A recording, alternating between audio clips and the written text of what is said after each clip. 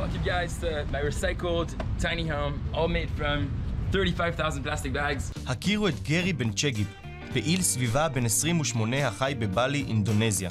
במהלך החודשיים האחרונים, גרי גר בבית ששטחו 12 מטר מרובע, הבנוי כמעט כולו מפלסטיק ממוחזר, שמקורו באשפה ובלכלוך, שאסף עם חבריו בחופי האיים בלי וג'אווה. Um, you know, you know, why not recycle the plastics that we're collecting from the rivers and really show what we can do with it. So this has been a personal project, but really experiments that we can really make amazing things out of trash. זה סיפור על זבל, מחזור ויצירתיות.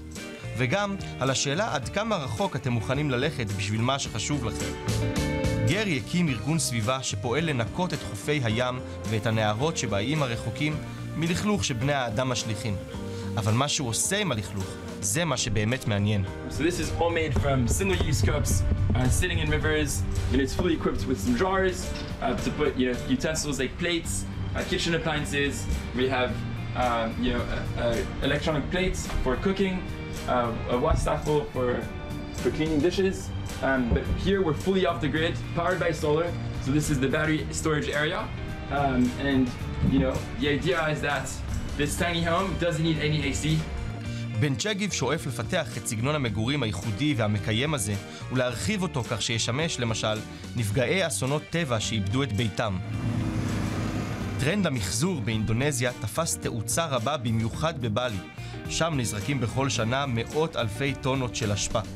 ב-2021, למשל, הנתון הזה עמד על 915,500 טונות של אשפה, שמקורו בעיקר בבתי עסק ובתי מגורים. ולכן יש מי שמנסים לשנות את המצב העגום. ואם נדמה לכם שבן צ'גיב לקח את זה רחוק מדי, כנראה לא ביקרתם בחוף פוטטו ביץ' בבלי. So we actually set ourselves a goal to be zero waste to landfill. And so from that 1,200 kilograms, there's right around 50% that we can take care of ourselves. There's about 43% that has to go out to um, a waste management company. And then about 3% which does end up in the landfill, which we're trying to get down to 0% as soon as possible. בחוף הזה אין כמעט אשפה שלא מנסים למחזר. המטרה? אפס אשפה.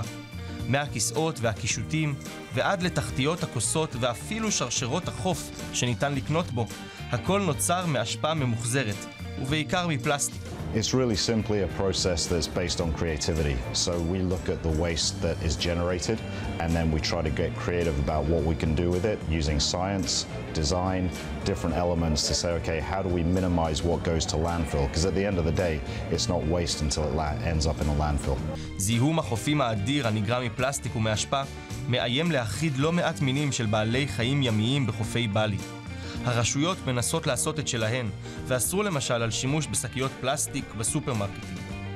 גרי ומנהלי חוף פוטטו ביץ' מצטרפים למאמצים האלה.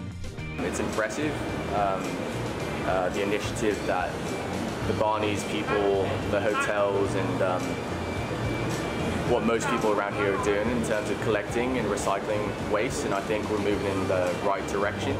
גם התיירים הרבים שמגיעים לחופים הפסטורליים של אינדונזיה אופטימיים.